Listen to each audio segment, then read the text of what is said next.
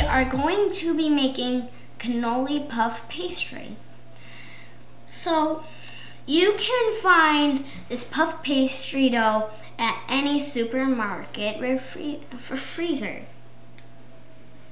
Okay, so you would, and we're using one, uh, one sheet of pastry dough. Now, you would take this little mini cupcake um, holder and you would spray it with cooking spray, any kind of cooking spray.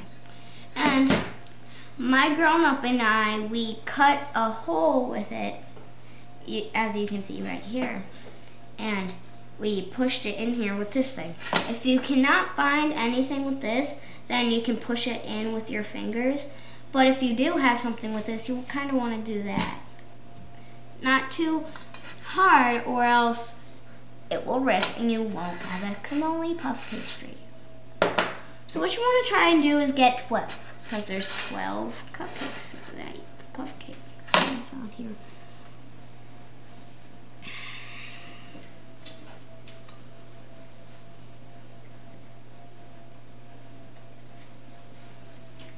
I want to try and get four in each row.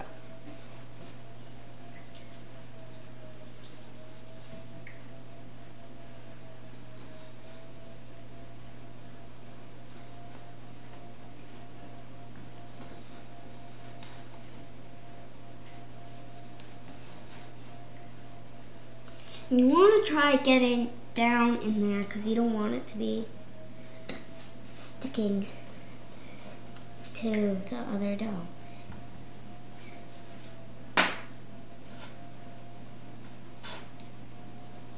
See, like right there. So this is how you would do it. You would take one of these circles, you would put it on there. Carefully push it in there and move it to the side. See how I messed up? You can mess up too. Just don't wanna. So it would be like that. Let's try another one.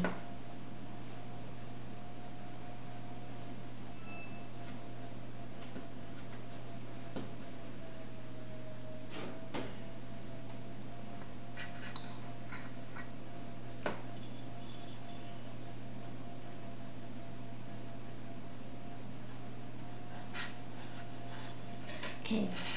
We'll join you right back while me and my grown-up finish up the rest of these. Okay, so me and my grown-up, we did this. Um, so we saved one more to show you. You can poke three or two holes in each one. You want to make sure you get some holes in there because if you don't, they're to puff up and fill up the cups. So you want to put this in a 400 degree oven for uh, uh, about um, 10 to 12 minutes or yeah minutes. So while this is in the oven, we are going to be working with the filling.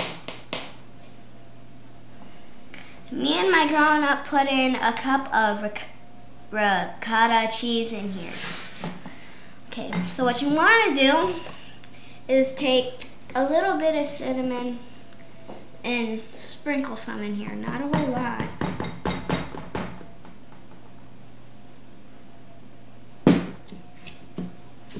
Okay, like I said, not a lot. I put in a lot. Don't do that. Okay.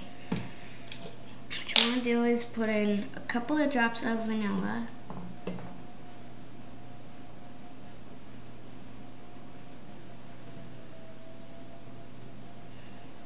Okay.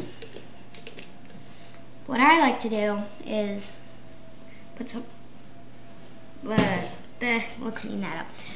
Um, we, I like to do, so I smell like a cookie. Okay. and we add some mini um, chocolate chips. And you want to add some sugar to this because that would make it a little sweet. And you can mix it around. You want to mix it around so it's all one color, not a billion colors.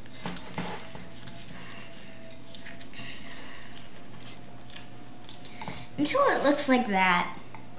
And we'll continue, well, we'll put this in the refrigerator until it's, until we need to use it. And I'll show you how to fill one of these guys.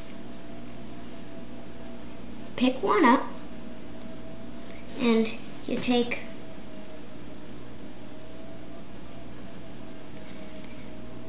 some of the stuff that you put inside and voila that's how you fill them all up. There you go. And thank you for watching my program